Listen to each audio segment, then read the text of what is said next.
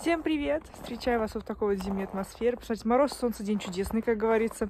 Опасаясь, вытащила iPhone, чтобы хоть что-то снять для вас. Начинаю я влог сегодня с прогулки. Бусинка у меня сейчас в колясочке в родительской лежит. У нас это Анекс Спорт старенький. Вот, в люльке ее вытащила. Мы пока что в ней все равно еле-еле, конечно, помещаемся, но спать у нас тут получается. Сейчас мы с мамой пойдем в фикс прайс. Если получится, я вам что-нибудь поснимаю, что там интересненькое есть. На улице, конечно, дубео холодео, но я думаю, если мы сейчас так быстренько прогуляемся, то будет, в принципе, и ничего.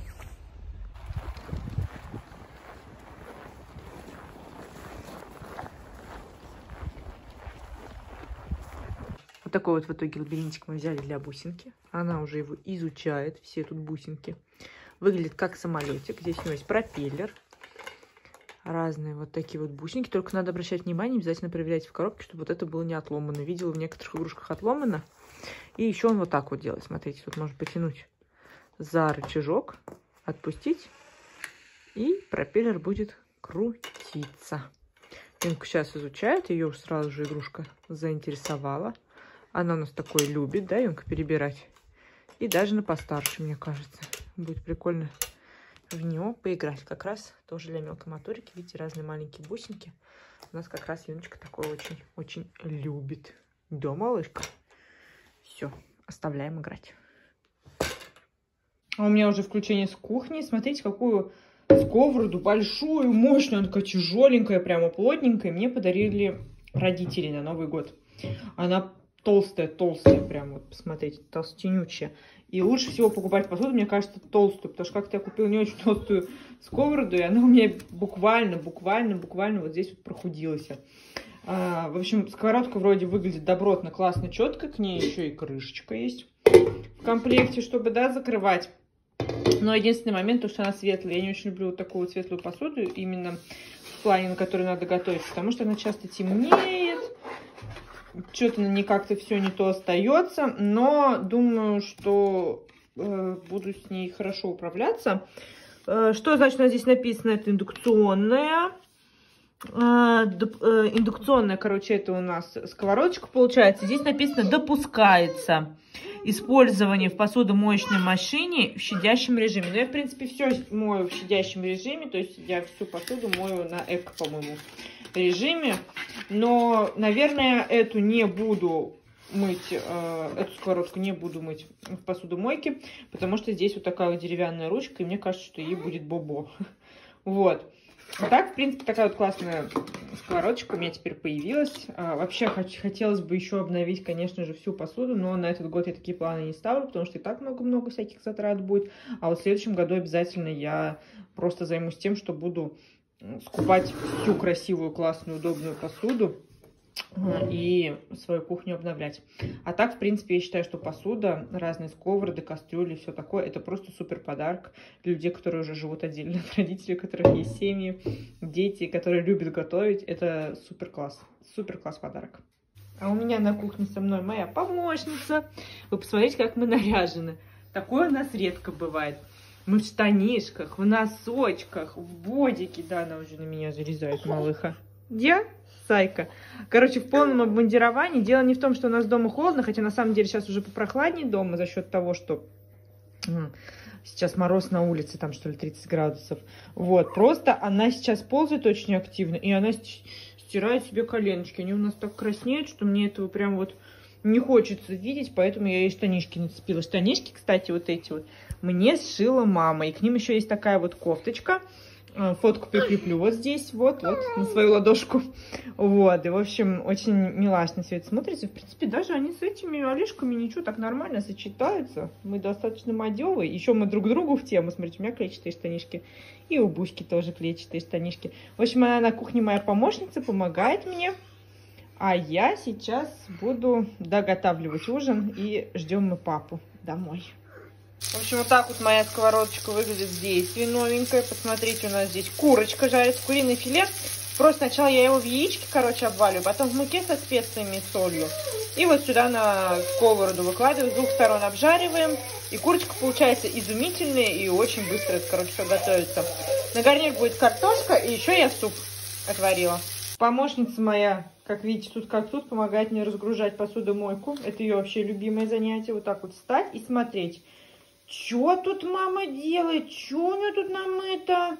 Проверять, короче, качество мойки, да? Качество мойки, скажи, проверяю, тут все ли нормально, вроде все ничего, да? Юнка, какой твой вердикт?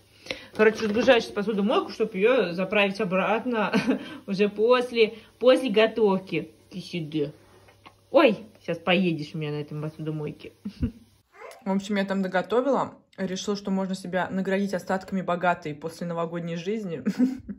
Поесть бутербродики с икрой. Вот такая вот роскошь. Конечно, пора уже забывать эту богатую жизнь, переходить в нормальный режим и переставать есть икру а на что-то попроще там. На огурчики на солененькие, например на что-то домашненькое. Но, в общем, вот такие вот новогодние остаточки, какие-то остатки новогоднего настроения.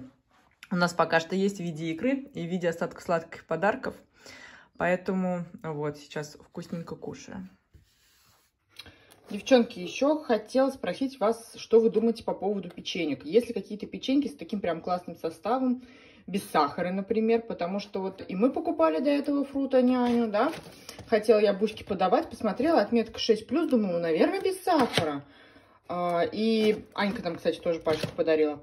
5 плюс, вот тут вот отметка, думаю, тоже, наверное, без сахара, это нам тоже подарили.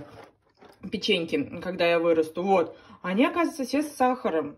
После года, то есть планируем мы где-то уже давать Юнке какие-нибудь сладкие вещи, сахары. То есть, в принципе, я вообще Ничего против сахара не имею. Вообще, я считаю, что не надо из себя делать миндальную мамочку, да, то есть там полностью ребенка лишать там всякого сладкого, жареного и так далее, но в определенном возрасте. То есть, когда уже время подойдет, когда она уже подрастет, конечно же, мы будем ей давать всякие там сладости какие-то, но, конечно же, в ограниченном количестве, понятное дело, чтобы это не переходило за какие-то рамки дозволенного. Тем не менее, я ничего против сахара не имею, но до года бы мне хотелось все-таки выбирать какие-то там печенья или сладости, или вкусняшки, угощения, более правильного состава, если это возможно. Поэтому, если у вас что-то есть, э, на ум приходит, то обязательно напишите мне, пожалуйста, в комментариях. Потому что печеньки мы ищем. В принципе, как видите, пачка почта, я ей пару печенек давала, ничего страшного вроде не произошло, нас не обсыпало. А, ничего такого не случилось, вот, и, как бы, наверное, я это кормлю, эту пачку, но вот так вот, чтобы я в постоянку покупала, нет, будем все-таки ждать годика, да, чтобы уже там сахарочками-то и баловаться. Но опять-таки я давала печеньку, то есть за раз и в день, не так, чтобы я прям ей там их друг за другом давала. Юнке, конечно, очень понравилось, но вот такой вот момент, что здесь есть сахар, хотя пометка 5+, не знаю почему. И еще одно разочарование, это вот эта вот каша. Я покупала каши Хайнс безмолочные, и рисовую, и кукурузную, и гречневую, и овсяную, и они все были без сахара. Здесь много зерновая каша. Я подумала, ну что такое, она тоже безмолочная, да, там, наверное, тоже должна быть без сахара. Не тут-то было. Оказалось, что кашка у нас с сахаром. Вот, тоже вот такое вот расстройство меня посетило, так что будьте внимательны. Не факт, что вот из этой серии, да, безмолочных каш все без сахара, на самом деле есть кашки и с сахаром, и с добавками, по-моему, там тоже они сахар добавляют, поэтому подходит для малышей. Если, конечно, против сахара, если вы ну, не хотите такой давать, то вот такие вот берите, короче. Обязательно, чтобы была пометка без добавления сахара и соли. 4 э, плюс, типа, начинаем прикорм, но на самом деле мы их до сих пор, вот 9 месяцев мы до сих пор их кушаем, эти каши, просто я побольше порцию юнки даю, и, в общем, с утра мы такие кушаем. Позже будем искать хорошие молочные каши, может быть, может быть, какие-то другие каши, может быть, даже я буду просто обыкновенную овсянку варить. Почему бы нет? Потому что она сейчас у нас уже на кусочки переходит. Ну вот, если что, обращайте внимание, что вот такая вот многозерновая кашка, хоть и безмолочная, но она все-таки у нас с сахаром.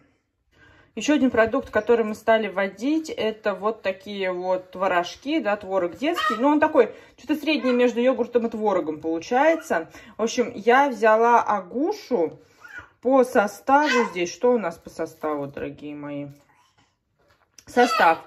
Молоко и закваска. Ну, как бы состав меня, состав меня, короче, порадовал. Мне показалось, что все должно быть с ним хорошо. В общем, взяла я такие огушки. А, едим без аппетита. Я пробовала и такие просто давать пару ложек, но пару ложек она ест. Пробовала и с фруктовым пюре давать.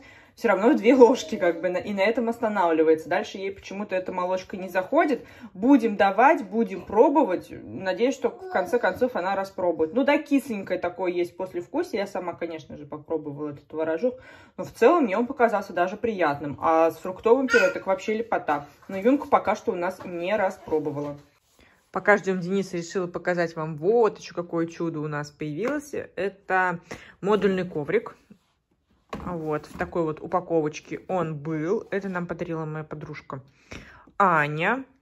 В общем, этот коврик необходим для того, чтобы малыш по нему ходил, что-то как-то упражнялся, и, соответственно, его стопа более правильно развивалась. Как видите, здесь есть самые разные поверхности, да, есть даже вот такая вот выпуклая, вот такие вот интересные какие-то рельефные узоры здесь. Все это прорезинено, Коврик весь резиновый, легко моется, приятные такие пастельные оттенки у него. Конечно, мы еще пока с юночкой не ходим, поэтому она пока вот только ручкой может все эти пупыртышки изучать. Но впоследствии я думаю поставить его вот сюда вот как раз-таки напротив телевизора, предполагаю, что у тумбы юночка будет приставать или у стола, не знаю пока у чего точно будет размещаться этот коврик, и она будет по нему ходить.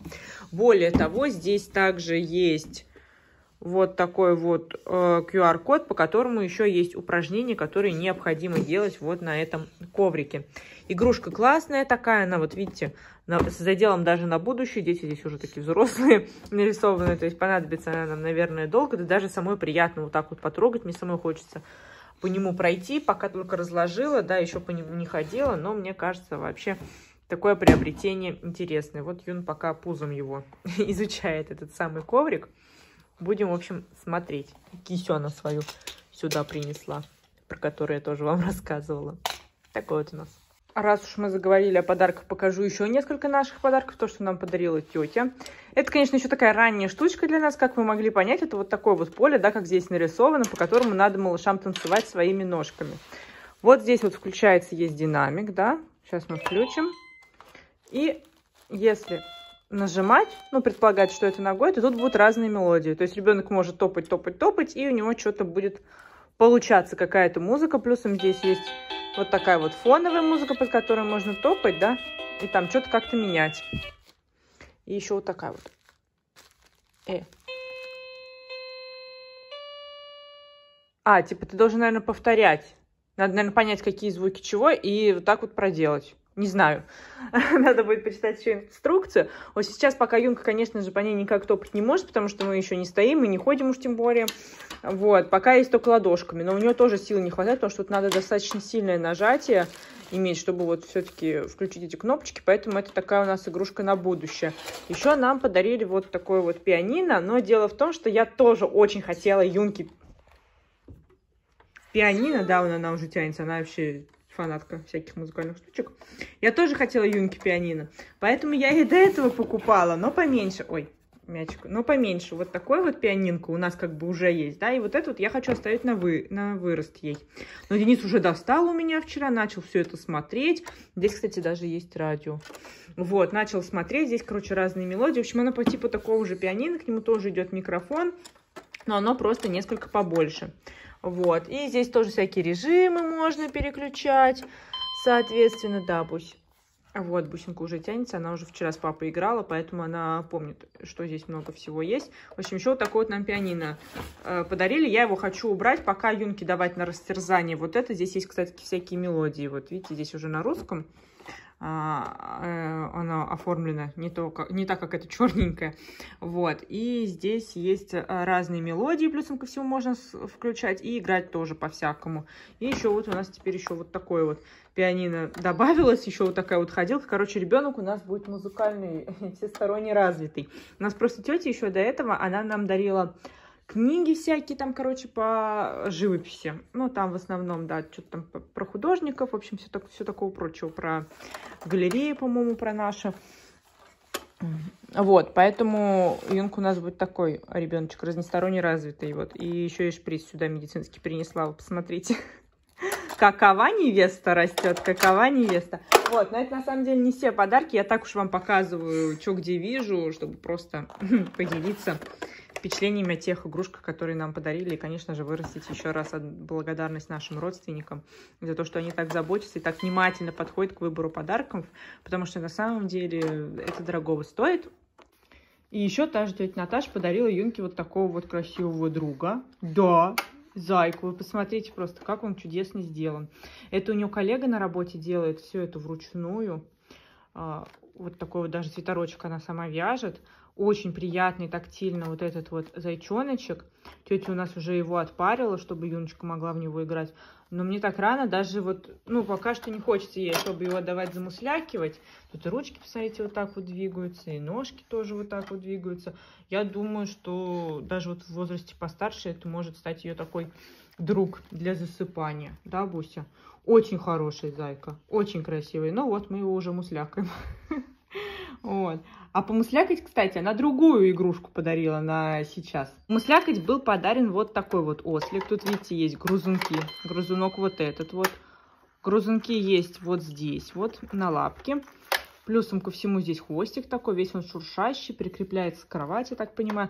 Вообще игрушка, в принципе, такая, она с первых дней жизни, мне кажется, актуальна, да, то есть такая первая игрушка.